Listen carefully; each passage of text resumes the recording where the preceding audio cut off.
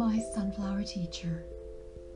A few months ago, in some new moon or full moon ceremony, I planted the only flower seed I had. It was a sunflower seed that someone gave me last year. I planted it in one of those tiny little pots, and be darned if it didn't germinate in the house. I watched it grow to five feet tall and reach for the sun through the window beside my office desk. And then it bloomed. It barely had any leaves by this time, but it produced a flower. What beauty, faith, and optimism. As spring arrived, I put it outside in the daytime. I would even ask it if it wanted to go out. I made friends with it, and now it is out on my newly tilled garden, all alone, propped up by a bamboo stick. It had a few leaves left at the top, and sometimes I felt like its arms were reaching out to me as they blew in the wind. The flower followed the sun and even looked straight up as if for nourishment and inspiration. So there was this long, fragile stalk with a beautiful sunny flower, still trusting in the process, in the sun.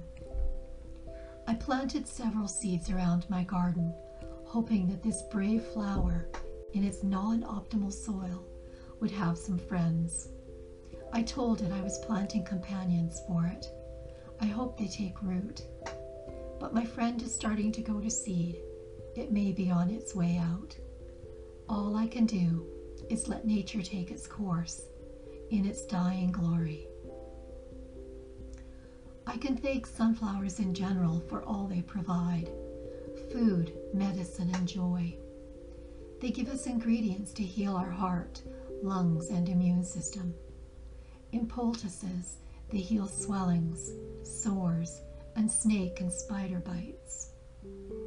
Sunflowers remove toxins and radiation from the soil.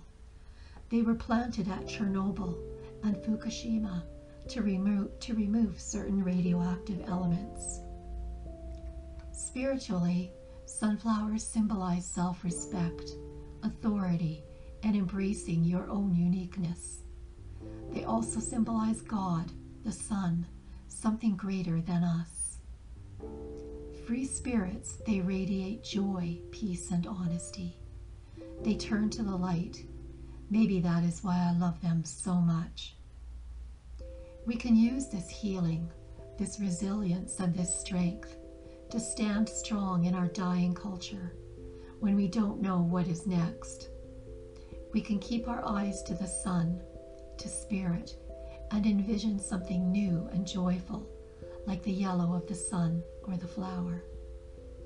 I see a future culture of simplicity, compassion, and connection. Technology will be used for the good of humans, not to make us into machines and separate, and separate us from our humanity and our soul. I see small communities working with other small communities, deciding their own future rather than being dictated to from a faraway authority. I see us living in harmony with nature as we connect on a more visceral level, like the former tribal cultures did.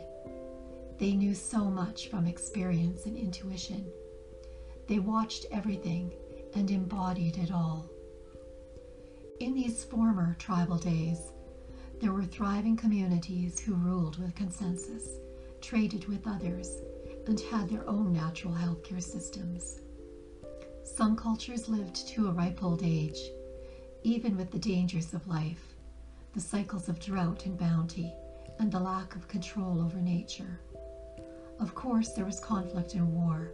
It seems there always is with humans, but living is risky no authority can keep us safe.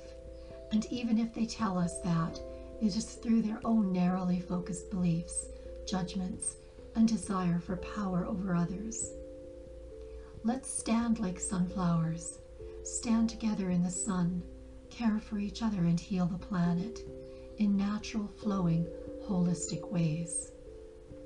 Remember your true nature authentic, strong, and visionary.